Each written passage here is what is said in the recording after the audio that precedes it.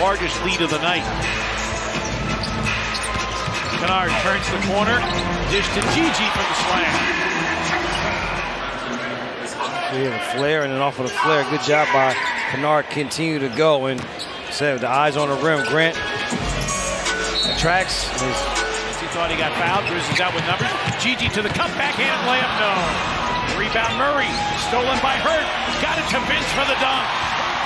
Little bit of spiciness and scrappiness for the Grizzlies. Grizzlies had trailed by five after the end of the first quarter, but their scrappiness has been in evidence in the second quarter, building the lead to four.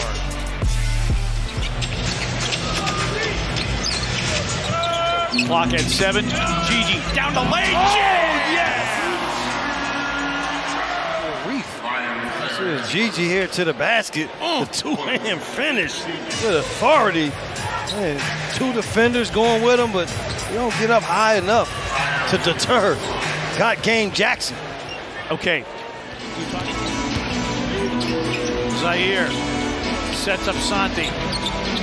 Cutting Stevens. I'll tell you what a high percentage shot is for Stevens, and that's right there. Goodwin surveys the scene. Aldama, a catch and shoot three. It's through. Santi Aldama, four of seven from the long line. Here in this fourth quarter. Offense is dried up. Flop for Aldama, yes, and the foul. Goodwin the delivery, and Aldama well, we see, he says you need more penetrating basketball. Well, you get a, a, move to the middle, you get a roll to the front of the rim, you get an and one opportunity, but they're going to have to have more of these type